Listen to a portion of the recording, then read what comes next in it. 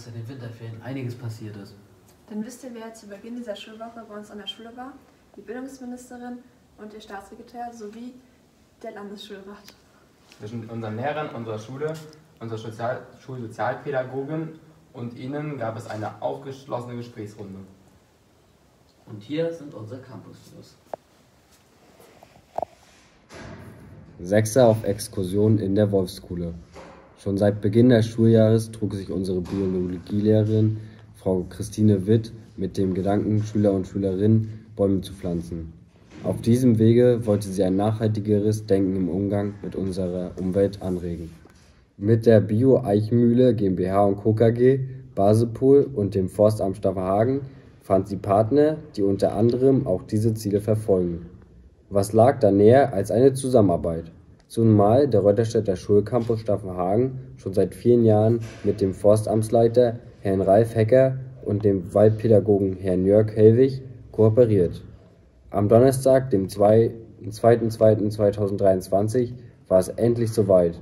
Insgesamt 100 Schüler unserer vier sechsten Klassen machten sich auf den Weg in die Wolfskuhle.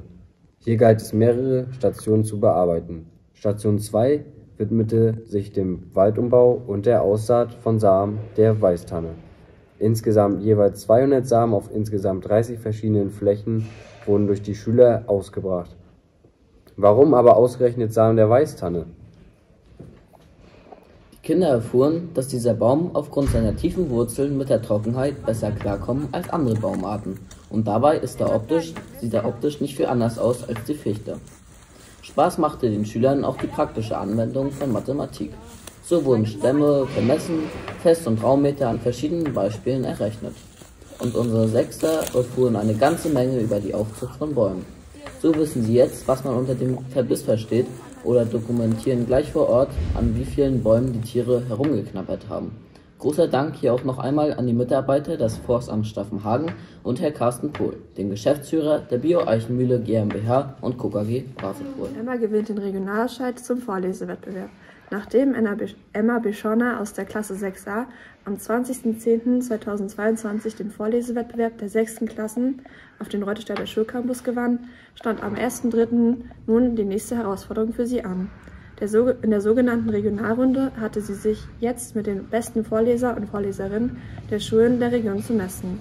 Mädchen und Jungen von Bildungseinrichtungen aus Machin, Alten Treptow, Dermin, Dagun, Remplin und Tützpatz lasen einen vorbereiteten und einen unbekannten Text und wollten mit ihren Leistungen die Jury, die Jury von ihren Lesekompetenzen überzeugen. Das gelang in der Stadtbibliothek Machin in hervorragender, hervorragender Weise unserer Emma. Sie gewann den Wettstreit und wird nun unsere Schule und Region beim Landausscheid in Schwerin vertreten.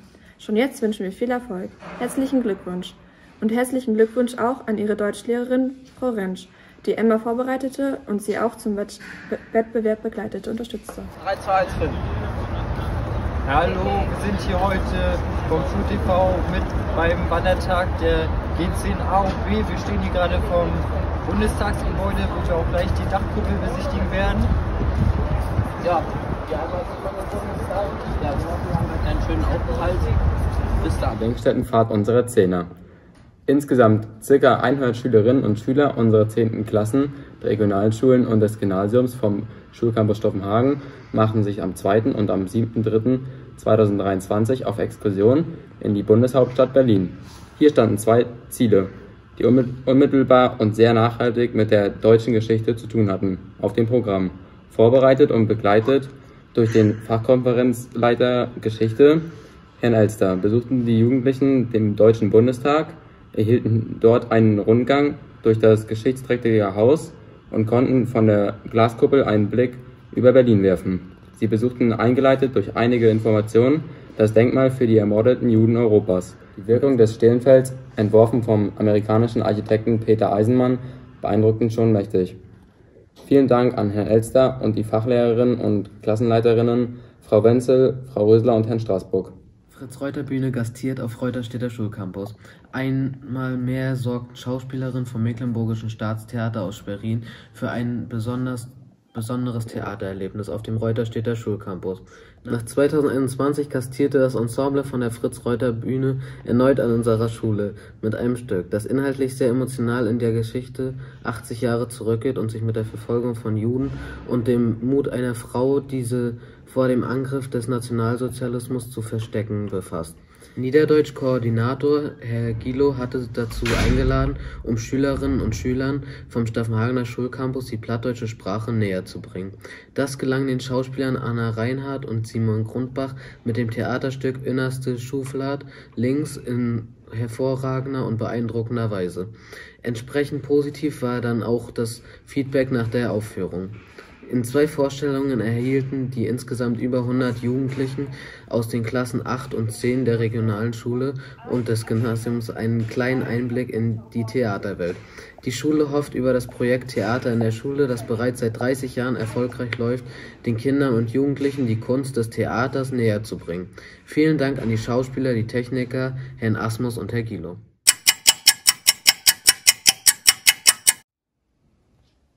Hallo, hier sind wir wieder vom Schul-TV.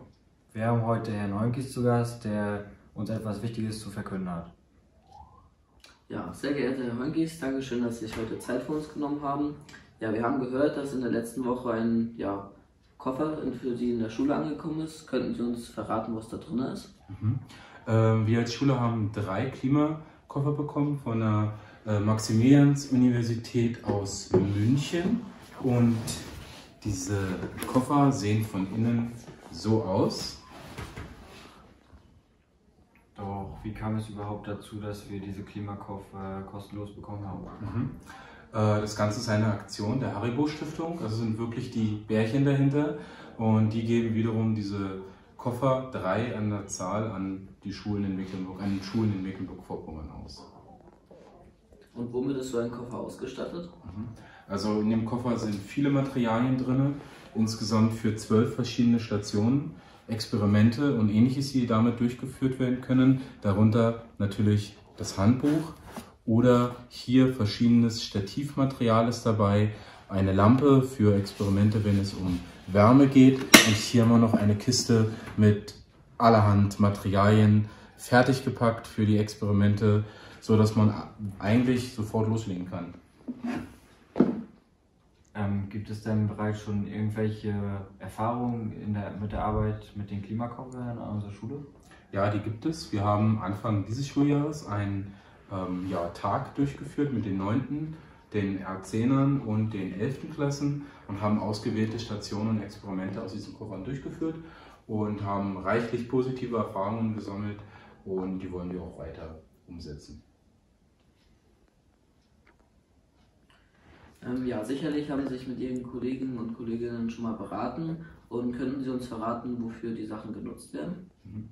Äh, ja, das, äh, diese Idee von diesem Projekttag wird bleiben. Wir werden das in den Klassen 9, 10 und ab nächsten Schuljahr in Klasse 12 einsetzen. Das hat was mit den Inhalten in den Klassen zu tun, aber es wird wieder so ein äh, Projekttag sein, wo eine Klasse oder eine Klassenstufe einen ganzen Tag an ausgewählten Experimenten arbeitet zum Thema Klimawandel verstehen und handeln.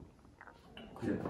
Ähm, vielen Dank, dass Sie sich die Zeit genommen haben, sich mit uns hier zu unterhalten heute und wir wünschen Ihnen in Zukunft noch viel Spaß mit dem Koffer.